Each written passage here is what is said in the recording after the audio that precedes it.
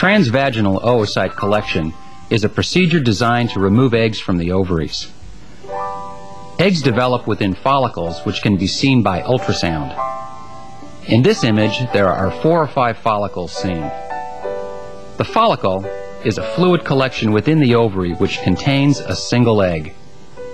The actual egg is microscopic and cannot be seen.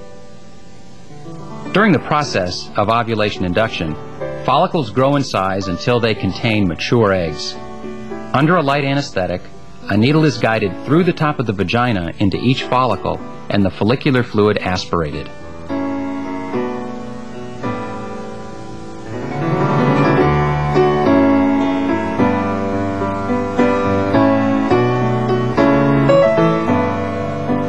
Often, the follicle is flushed with media to assure the best chances of removing the egg.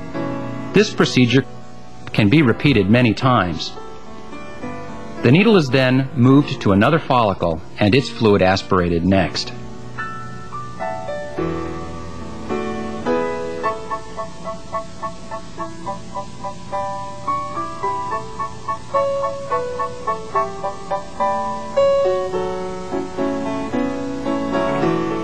The follicular fluid is collected in a test tube, and each test tube is passed to the laboratory where a highly trained biologist identifies the egg within the follicular fluid.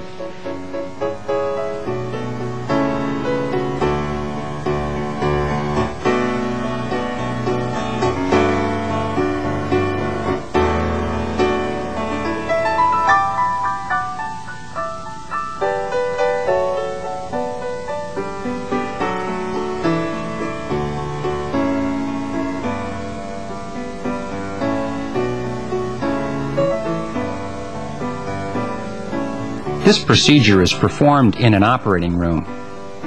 In this image, the surgeon is guiding the ultrasound transducer and watching the ultrasound screen to identify the location of the ovaries within the pelvis. An assistant is prepared to flush media through the needle to assure the best chances of egg recovery.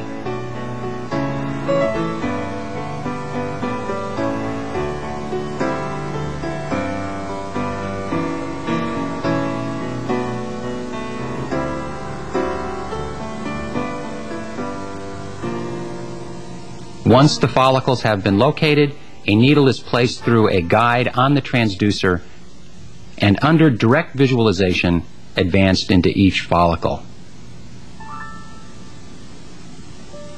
Follicular fluid is collected in a test tube and each test tube handed to the biologist for inspection.